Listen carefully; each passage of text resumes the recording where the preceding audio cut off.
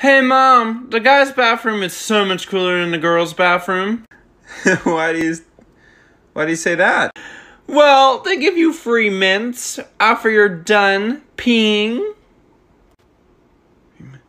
Where do you get the mints? Well, they're in the urinals. It's a urinal cake. Are you jealous? What are you? What what are you?